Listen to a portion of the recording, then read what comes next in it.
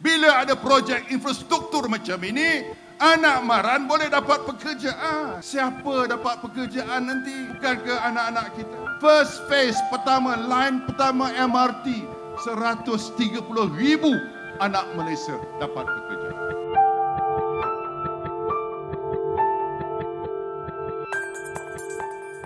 Tahun ini kita meraihkan 60 tahun kemerdekaan. 60 tahun tak putus-putus. Tidak ada sekalipun, nauzubillah, kita ni terkeluar, tergelincir daripada memegang tampuk kepimpinan negara kita. Itulah rekod cemerlang UMNO yang tak ada tolok bandingan. Tentu sekali hari ini kita boleh nampak keberhasilan perjuangan kita.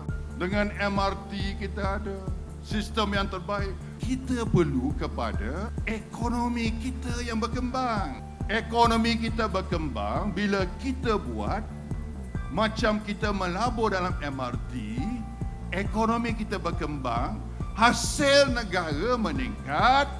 Bila hasil negara meningkat, kita boleh menambah peruntukan untuk kawasan luar bandar. Termasuk kalau ketua bahagian minta balai raya dewan yang baru, boleh kita timbang. Kalau tak ada hasil negara, macam mana kita nak timbang?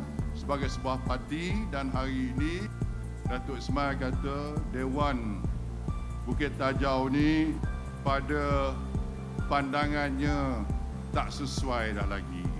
Itu pandangan ketua bahagian. Tak sesuai pandangan saya belum tentu lagi. Tapi kerana sambutan orang Maran, orang Maran pun lama menunggu saya datang semula, maka saya setujulah beri peruntukan 3 juta.